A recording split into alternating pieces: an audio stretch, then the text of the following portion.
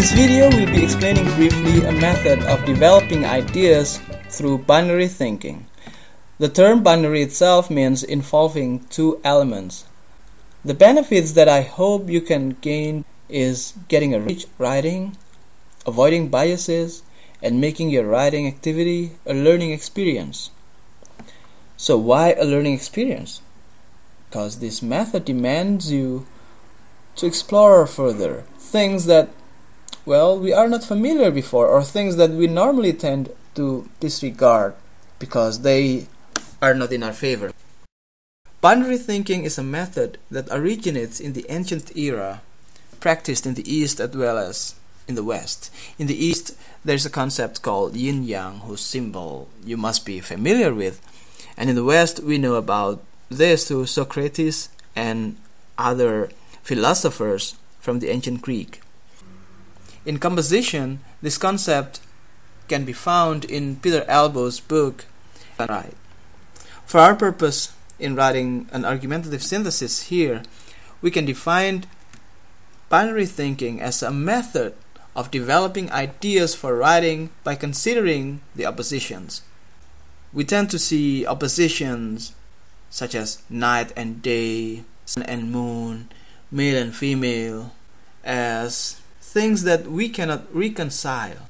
However, following Peter Elbow here, I use the term oppositions only to mean that we are not stuck to one idea. We don't feel satisfied with only one idea, but explore other possibilities. And the easiest way to find possibilities is through finding the opposition.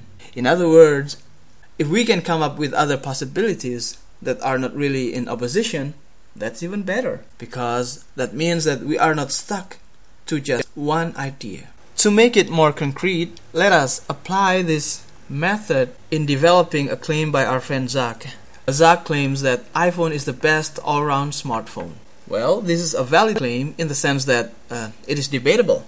For some people, yeah, this is right. For other people, this is debatable. This is unacceptable. For example, for religious Android users, wow, this is almost like a blasphemy. Zach supports his claim by saying Apple sales record always increases by the year. The customer reviews are amazing. The malfunction rate of any type of iPhones is significantly lower than that of any other smartphones. So these supports are basically supporting arguments. Now, uh, we are going to apply uh, the binary thinking method to develop each of these supporting arguments. So for the first supporting argument, Apple sales record always increases by the year. Normally, to develop this support or the supporting argument, we would try to sources that confirm our supporting argument, such as this one. Apple sold 124 million iPhones in 2012 alone. However, with our binary thinking perspective, we then try to compare something else, something in opposition to Apple sales record. In this case, we're trying to find the closest opposition, which is Android. I found that Android phones of all type held 68.8% of the market share in 2012. That's amazing. Then uh, we will have to synthesize these two ideas. As a single brand, uh, iPhone still rules the market. That's our synthesis. However, Android sales statistics undeniably shows that more people prefer to buy Android phones. Maybe because there are more options to choose from. For the second support, the customer reviews are amazing. We can find sources outside that say how customer reviews are amazing and uh, to make it further, how iPhone's customers are enjoying their phones. Now we have uh, two points to talk about here. Customer reviews on Best Buy's website and Amazon.com are unshakable proofs of how much people love and enjoy their phone. And another fact is that uh, many musicians and artists use their iPhones in their creative work is a testament of how iPhone is a great gadget. Now, with our binary thinking, we try to find something that is something that says the opposite. Then we come up with this. Android forums, however, are also proofs of how creative people play with their Android gadgets and hack them so that these Android gadgets can do things that even their manufacturers, their creators, never thought of doing. Then, with these two contradictory things, we will have to synthesize.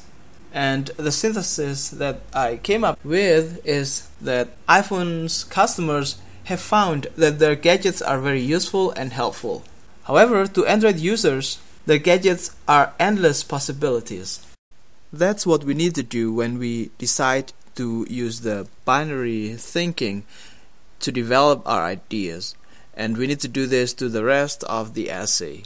So, after finding sources or facts that are actually not really in our favor but enriching our essay, we have to revise our thesis statement. At the end of this project, you know a lot of facts about iPhone and why iPhone is a good smartphone. On the other hand, you also know that other smartphones are great things for those who like different things. That's basically the idea of applying binary thinking in developing your ideas. So let's now review the benefits that we can gain from applying this binary thinking. First, we can present our arguments strongly without being biased. And another thing is that we as writers gain knowledge because we are here forced to explore things that we didn't know before. And the third thing is that you can feel proud of yourself uh, when you get the Christmas break.